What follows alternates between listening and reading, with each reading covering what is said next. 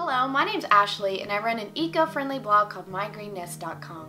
Today I want to talk about this awesome little hand pump. It's called the Medela Harmony Manual Breast Pump and it is just fabulous. I loved using it and today I'm nine weeks away from having my second baby. So I've been getting all my breastfeeding gear out and I thought, you know what, I'll go ahead and make a video because I really wanted to show you guys this breast pump so I'm going to show you in this video how to use it, how to assemble it, some of the some of the products that you can use with it. And if you have any questions about those products, just click the link in the description below. I placed them all there. And I also have a blog post that I wrote talking more about my experience with this pump, like what I liked about it, what I didn't like about it, and how I traveled with it, and the things that I used to travel with. So, without further ado, let's go ahead and get started. So here's the Medela Harmony pump. This is a hand manual pump that is small, lightweight, and doesn't require any batteries or charging. This is the perfect breast pump to have on hand when traveling or sitting next to your nightstand for easy access. Before use, you want to make sure that your hands are clean. I believe they recommend boiling your pump parts for the first time.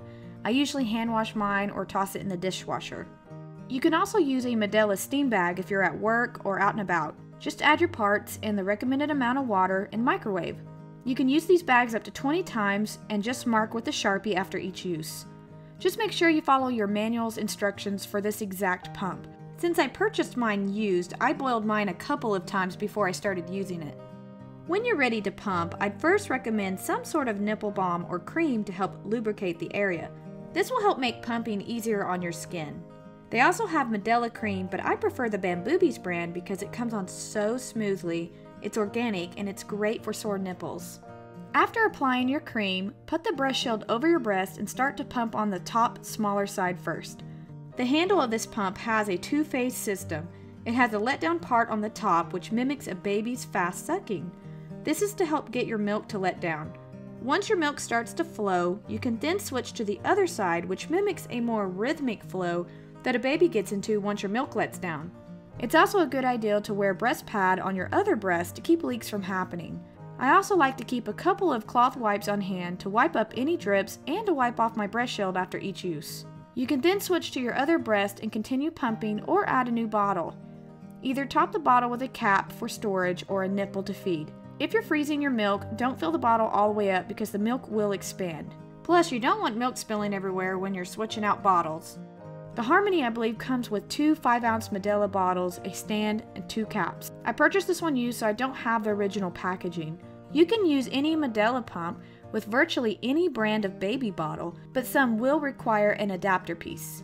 You can use the larger 8 ounce size Medela bottles, but unfortunately they don't fit the stand. You can also pump into these Medela breast milk storage tubes, which convert into bottles with an add on of a nipple.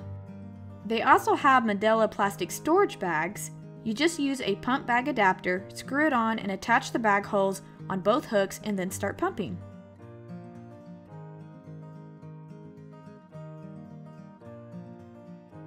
To assemble your manual breast pump, the first thing you want to do is take your shield container and connect the yellow valve piece. Now this is the tricky part.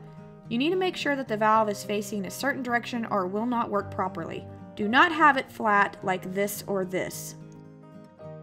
As long as the valve is facing to the left or the right side in the direction of your breast shield, you're good. Now add the little white membrane onto the yellow valve. Attach your bottle, bag, or storage tube. Then you'll need to attach your breast shield.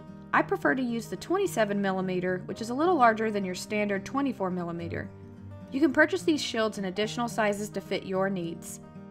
To assemble the two-phase expression handle, you need to insert the plastic piece on top of the rubber piece facing down. Flip the piece around and insert it into the handle. Make sure the rubber part is completely sealed around the handle or it will pop off when you try to pump. Now stick your completed handle onto your shield container and voila! You have quickly assembled your Medela Harmony pump. Now I do plan on doing some more video tutorials on breastfeeding supplies, so if that sounds like something that would interest you, please consider being one of my subscribers, and I hope to catch you guys in the next video.